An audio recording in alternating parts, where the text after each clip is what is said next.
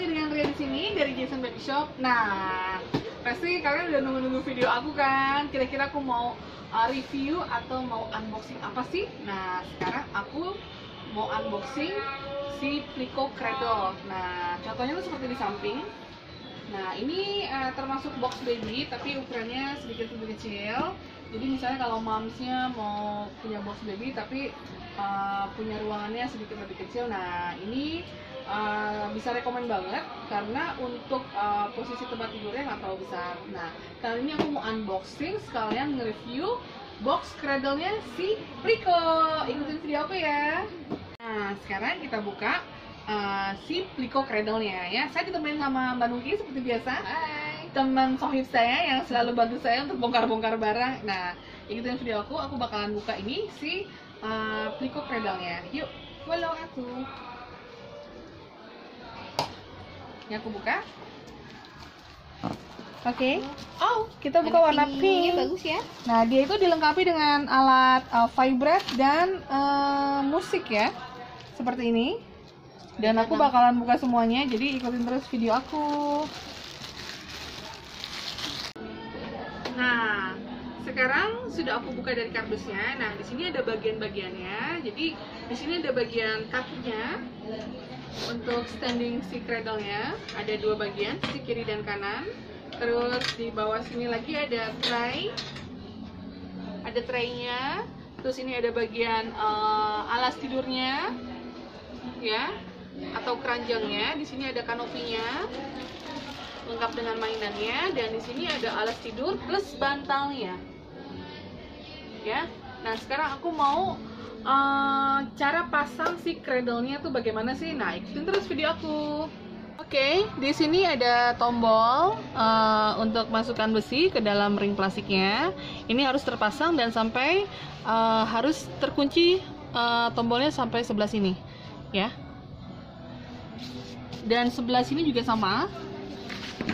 Ini harus eh, terpasang sampai dia mengunci tombolnya di sebelah sini. Nah, ini setelah posisi terpasang seperti ini. Ya. Dan satu lagi posisinya seperti ini.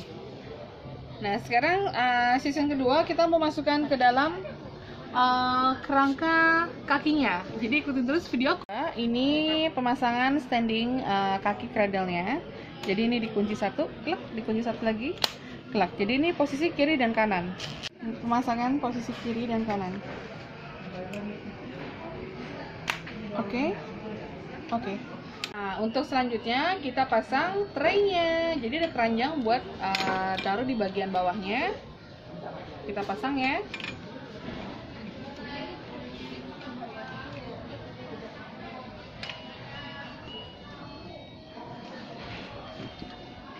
Nah, bagian keranjang bawahnya sudah terpasang.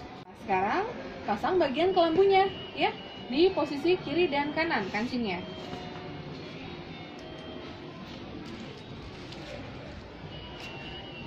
Pasang. Nah, ini kan karena bagian karet, jadi harus diselipkan di keranjangnya.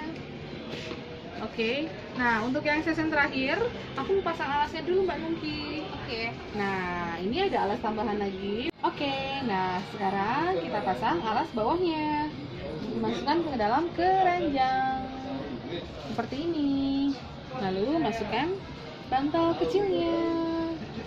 Oke, cradle siap digunakan. Posisi memakai kelambu. Nah, nanti aku bakalan kasih tahu gimana sih cara rocking sama cara posisi dia nggak rocking. Nah, ikutin terus video aku ya.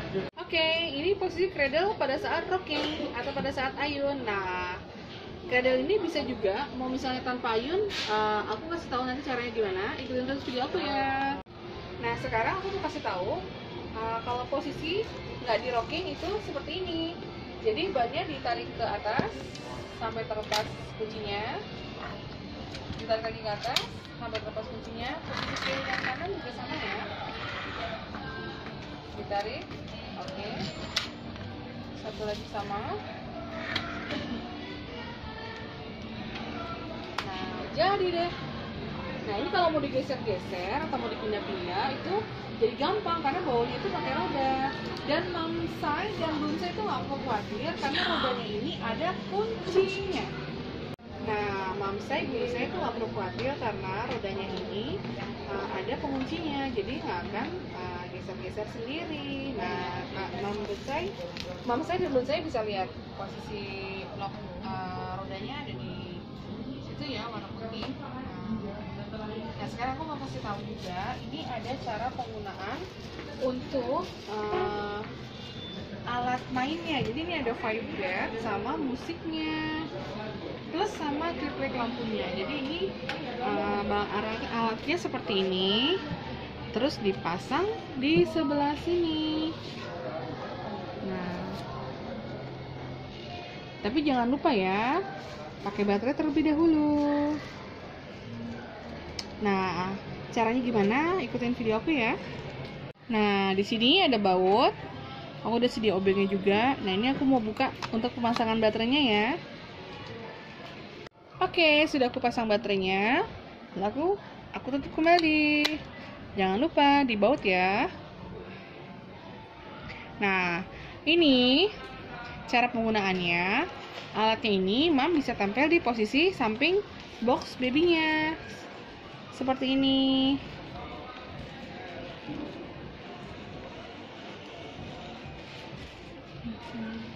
Oke, alatnya sudah terpasang ya. Posisinya nanti taruhnya boleh di sisi kiri kanan boxnya ya. Nah, alatnya ini tersedia tiga tombol dan tombolnya ini fungsinya beda-beda.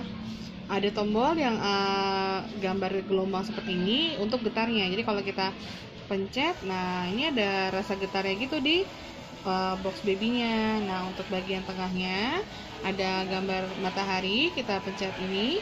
Nah di sini ada headlight lampunya. Dan tombol terakhir ada gambar nada atau melodi seperti ini. Nah ini kita pencet ada suara musiknya. Nah kalau dipencet dua kali suaranya semakin besar.